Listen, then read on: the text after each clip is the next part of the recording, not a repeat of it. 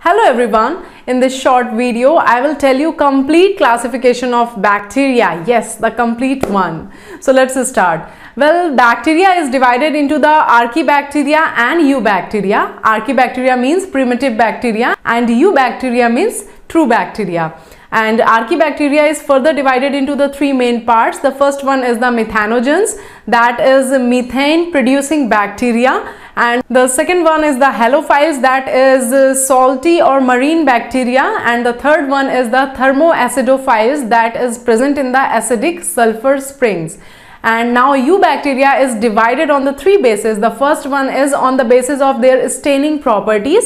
So on this basis it is divided into the two types that is the gram positive bacteria and gram negative bacteria. On the basis of a structure it is further divided into the four main types. The first one is the cocci that is the round shaped bacteria and it is non-motile. And the next one is the bacilli that is the capsule shape. After that the spirillum that is a spiral shaped and the next one is the vibrio that is the comma like and these three are motile. Well on the basis of nutrition it is further divided into the two main types. The first one is the autotrophic and the next one is the heterotrophic well autotrophic is again divided into the two main types. That is photosynthetic bacteria and the second one is the purple sulfur bacteria. And after that the heterotrophic bacteria is divided into the three types. That is a saprophytic symbiotic and parasitic. So that's all about the bacterial classification.